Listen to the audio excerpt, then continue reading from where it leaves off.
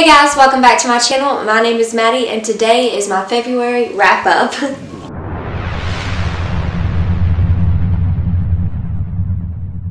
so this video is going to be a little bit different than what I normally do. I am sick with a sinus infection and then I'm taking care of this precious baby right here. So it's just going to be very chill, relaxed. And because I'm not near my bookshelves, I'm not going to be holding up any books, but I will insert the pictures for those. In the month of February, I read 12 books, so I'm just going to be sharing with you guys all of the books that I read in February. If you're wondering who this baby is, I was hiking yesterday on my parents' land and we found her. She had been apparently dropped off by her owners and she was left to die and we could not leave her there. We could not, I could not be another person to abandon her there to die. So I had to take her home. So I now have another dog. We have three dogs now. I'm trying to learn her personality to get like the perfect name, but so far I've been calling her Essie. She seems to be pretty young, but I've got to take her to the vet tomorrow and get her checked out. She's severely underweight and she isn't keeping food down, so that's concerning. But she's been such a sweet baby and I'm so glad that I could save her. She's the sweetest dog and she absolutely loves cuddling. She always has to be right up against me she doesn't like being left alone, which is understandable. But because of that, she has to be in my lap for this video, which is why I'm sitting here and filming this a little bit differently. So let's get into the books that I read in February. The first book I read in February was Carve the Mark by Veronica Roth. I just thought this book was okay. It is a science fiction story about a princess whose touch severely injures people. And then it follows a male slave whose touch is the only one that suppresses her powers. This is a very controversial book and I really didn't see those issues. Although if you were offended by this book and the controversial issues surrounding this book, your opinions are totally valid. I just didn't see it myself, but I understand that this book may have hurt you in some type of way, and I'm very sorry that it did that. Regardless of my opinions on those issues, this book just wasn't that great. It felt underdeveloped. The plot wasn't anything interesting. I really didn't care about anything that was going on. I didn't really have any emotional connection to the characters, so I didn't really care what happened to them. It just felt very underdeveloped and I, it just wasn't for me. The next book I read was 172 Hours on the Moon by Johan Harstad. This is a science fiction horror novel about these teenagers who are selected in the special program to be sent to the moon. And little do they know, there's some creepy things up in space and there's some creepy things happening on the moon that they aren't aware of until they get there. This book wasn't really scary. The horror element of this book didn't really come through until the last quarter of the book, maybe even less than that. I was thinking the whole time that it was going to be really scary and it wasn't. But then I got to the ending and I was just like completely shook. I just kept repeating out loud to myself, that was crazy. That was insane. That was messed up. This book was messed up. If that message hasn't come across clearly yet, it is messed up. I enjoyed this book. It didn't blow me away and the first half of the book, they're not even on the moon yet. It's just stories of their regular lives on Earth. And it wasn't interesting until they got to the moon. So that first half was pretty boring, which is why I didn't like it quite as much as I could have. Next, I read The Cruel Crown by Victoria Aveyard. This is a novella in the Red Queen series. There are actually two novellas in this book. One follows the former queen, while the other one follows a prevalent character in the series who is like a rebel commander. These stories didn't blow me away. I didn't find the one about the former queen all that interesting. It wasn't completely unnecessary and I did enjoy reading it. It just didn't have any particular effect on me. And then parts of the other story just kind of went in and out for me, like I zoned out through a lot of it and I wasn't even really paying attention to what I was reading. But then there were also parts of it that I really enjoyed and I was glad that I got those extra snippets into our character.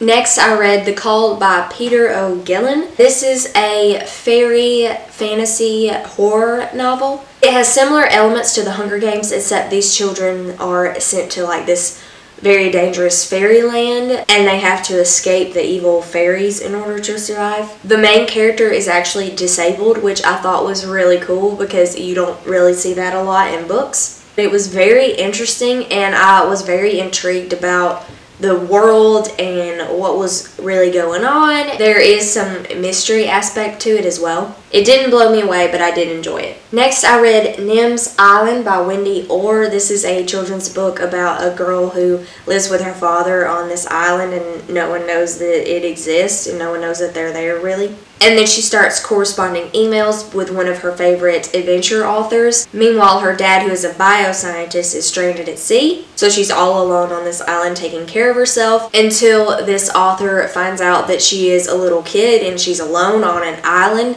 And the story goes from there. It's a cute children's book. I have seen the movie adaptation to this a long time ago. And from what I remember, I really think the movie did a better job at telling the story than the actual book did. Not a lot happens in this book. I thought it was okay, but as far as children books go, there's so much better ones out there to read. The next book I read was The Boy Most Likely To by Huntley Fitzpatrick. This is a companion book to My Life Next Door, and it is a romance story between Tim Mason and Alice Garrett. If you've read the first book, then you know who those people are. The romance in this book kind of felt forced and ingenuine. It was cute, but it just happened really fast and I felt like there was really no reason for it beyond like physical attraction. There is a lot in this book about unplanned pregnancies, having children when you're really young, and how your life is altered by a significant event like that happening. Like your life completely changes because your life is no longer about you, it's about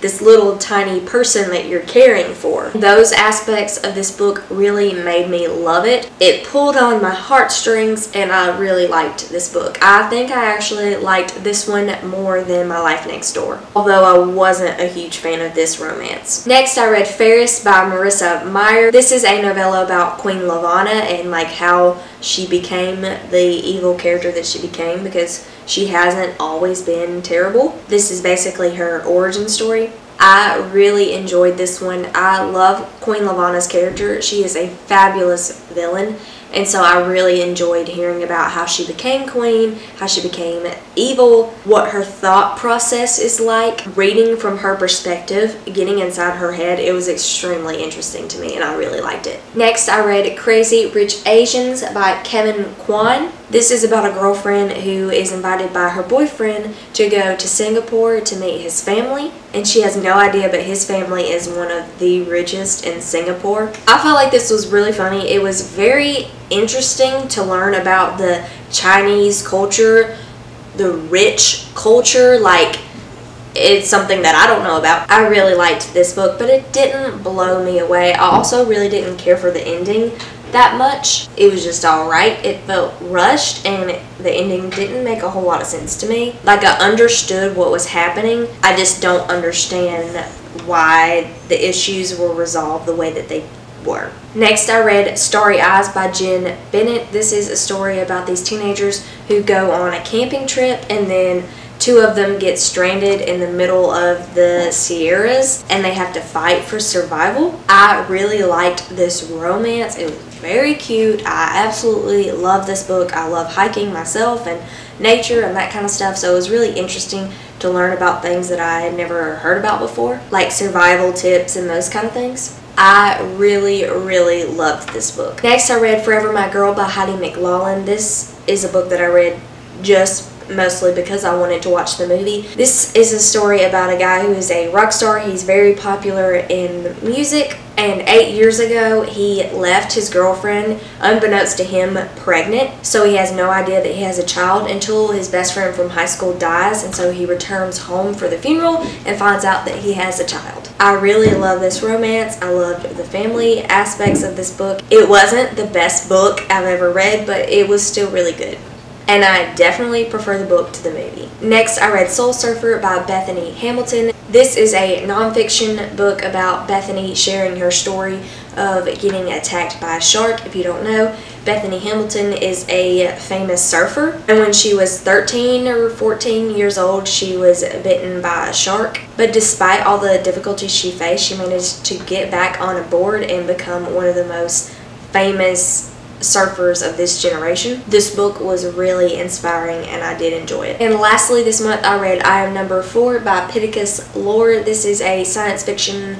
story about aliens and it follows an alien boy who is known as Number 4 who's on the run from the enemy alien race that is trying to kill him and his species. This is mostly a romance which I really did not like.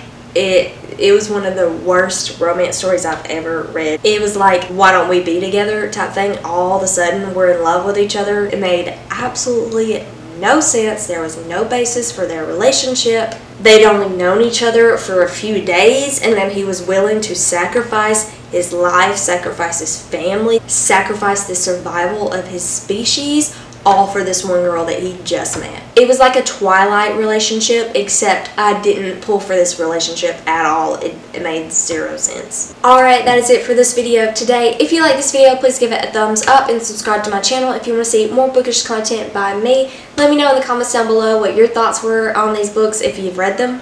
I hope you all have a wonderful day and I will see you in my next video. Bye.